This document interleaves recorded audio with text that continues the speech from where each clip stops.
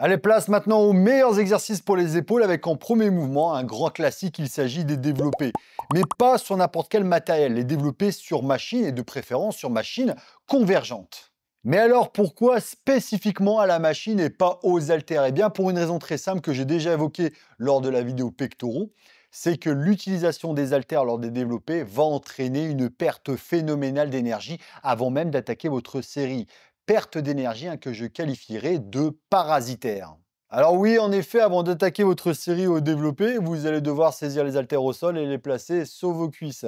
Déjà en fonction du poids de ces derniers, ça risque de faire de plus en plus lourd au fil des séries. À la suite de quoi, ces haltères, vous allez devoir les développer à l'aplomb de vos épaules. Alors quand c'est des haltères de 10 kg, ça va, mais dès l'instant où vous taquinez les 20, 30, 40 ou 40 plus pour les plus forts d'entre vous, Avouez qu'au bout de la deuxième, troisième série, ça commence à devenir une sacrée mission. Et dans cette position, j'ai l'immense plaisir de vous annoncer que vous êtes enfin en place pour fournir un effort intense. Mais ce n'est pas tout, car à la fin de cette série, hein, vous allez devoir conserver suffisamment de force, suffisamment de lucidité pour ramener les haltères sur vos cuisses tout en les contrôlant en évitant de les laisser chuter sur les côtés au risque d'écraser le voisin ou de vous arracher les épaules. Et des cuisses, vous allez devoir les replacer au sol. Et à l'issue de ce parcours du combattant, j'ai l'immense plaisir de vous annoncer que vous venez de terminer une série. Il vous en reste trois. Alors que si vous aviez utilisé une machine, cette dernière vous aurait permis de dédier 100% de votre énergie à cette série intense, sans subir cette dépense énergétique parasitaire induite par la mise en place des haltères. Deuxièmement, la machine va vous permettre de bénéficier davantage de stabilité. Et je vous rappelle que plus vous êtes stable sur un mouvement, plus vous serez en position de force, plus vous serez à même de manipuler des charges lourdes et c'est votre stimulation musculaire qui sera améliorée. Et enfin, contrairement aux haltères hein, sur une machine, vous n'aurez pas besoin d'un pareur ou d'un spotter hein, pour pallier un éventuel incident ou une éventuelle faiblesse ce qui psychologiquement parlant vous placera dans les meilleures conditions pour fournir un effort maximal, sans l'once d'une appréhension ou de crainte. Donc en conclusion, je ne dis surtout pas qu'il faille jeter les haltères à la poubelle, hein, très loin de là. Je mets juste en exergue le fait qu'en 2024, les machines représentent de plus en plus un matériel incontournable. En deuxième exercice, on ne les présente plus. Il s'agit des fameuses élévations latérales, un mouvement qui va focaliser le travail sur le faisceau médian, sur le faisceau latéral de vos épaules. Alors je ne le dis pas souvent, mais je le répète, cet exercice est pour moi un incontournable, un véritable indispensable. C'est bien simple. Hein. Si je ne devais choisir qu'un seul exercice d'épaule, ce serait sans l'ombre d'une hésitation les élévations latérales. Et ceci pour une raison très simple c'est que le faisceau latéral de vos épaules, hein, contrairement à l'avant et l'arrière de vos épaules, hein, qui seront respectivement sollicités de manière indirecte lors des mouvements de poussée et lors des mouvements de tirage, eh le faisceau latéral, lui, sera très rarement sollicité de manière indirecte lors d'autres exercices. Donc vous l'aurez compris, afin de se développer, il aura inéluctablement besoin d'un travail spécifique, d'un travail analytique. Et dans cet objectif, rien ne vaut les élévations latérales. Quant au choix du matériel sur lequel effectuer, il sera surtout conditionné par celui dont vous disposez, mais également vos préférences personnelles. À titre de bref récap, hein, sur une machine, vous allez pouvoir bénéficier d'une tension constante, d'un étirement en fin de mouvement et d'une bonne stabilité, matériel qui a toute ma préférence.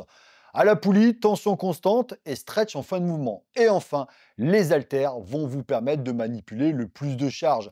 Quel que soit le matériel, les élévations latérales doivent impérativement, et je souligne bien impérativement, faire partie de votre arsenal technique épaule.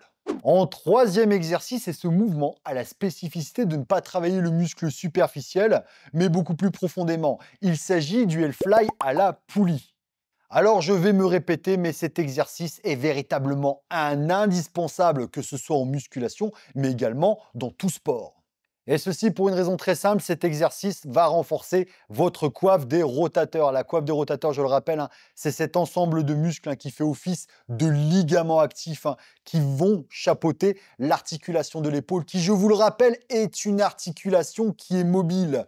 Donc, par définition, une articulation qui peut être fragile. Et par le biais de cet exercice, le renforcement de la coiffe des rotateurs va vous assurer de bénéficier d'une épaule stable, d'une épaule forte, ce qui aura un impact monumental sur vos performances, mais également sur la diminution drastique des risques de blessures. Mais alors pourquoi spécifiquement à la poulie? Eh Bien pour une raison très simple, vous l'aurez deviné, eh ben, c'est la garantie de bénéficier d'une tension qui sera constante. Néanmoins, pour les personnes qui n'ont pas accès à ce type de matériel ou qui s'entraînent à la maison, vous pouvez dans une moindre mesure l'effectuer avec un halter, mais allongé sur le côté, de sorte à utiliser la gravité pour créer cette tension musculaire. Et enfin, de grâce, ne me faites pas du fly debout aux haltères, c'est totalement inutile puisque cette pseudo-variante ne vous apportera absolument aucune, je dis bien aucune, tension musculaire.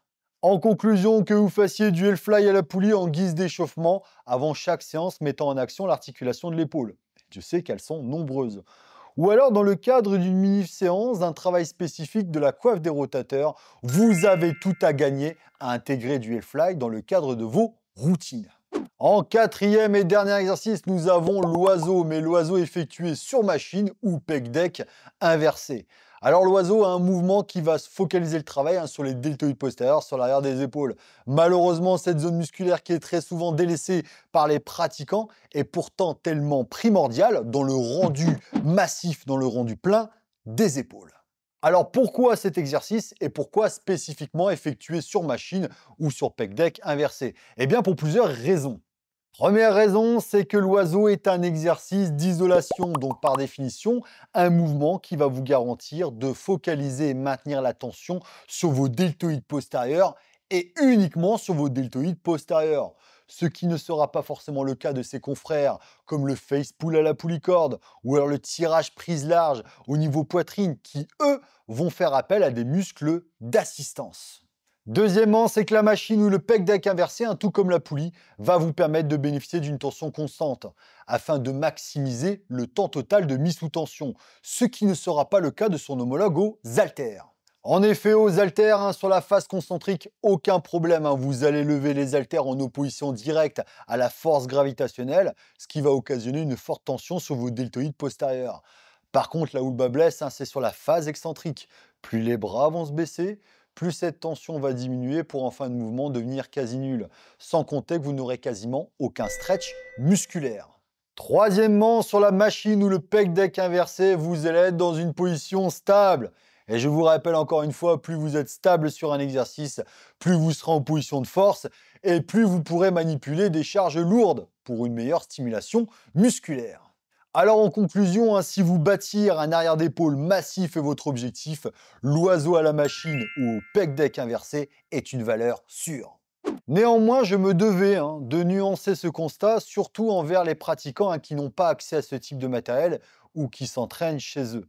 Quel que soit l'exercice que vous fassiez pour votre arrière d'épaule, que ce soit du face pull à la poulicorde, que ce soit de l'oiseau à la machine, au pec deck inversé ou alors de l'oiseau aux haltères, Travaillez-moi ces arrières d'épaule. Car je vous rappelle que le pire exercice que vous puissiez faire pour l'arrière d'épaule est tout simplement celui que vous ne faites pas.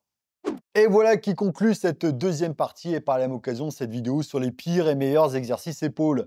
D'ailleurs, tout comme la première partie, en commentaire, hein, dites-moi parmi cette liste des meilleurs exercices, quels sont ceux que vous faites actuellement ou quels sont vos préférés? Vous le savez, ça m'intéresse énormément.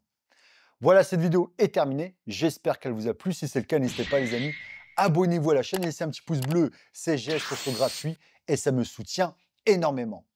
Quant à moi, je vous souhaite à toutes et à tous de très très bons entraînements. On se retrouve très bientôt pour une nouvelle vidéo. Merci infiniment pour votre soutien. Vous étiez sur Enzo TV, je suis Enzo Fukra. Bye bye les amis, ciao, salut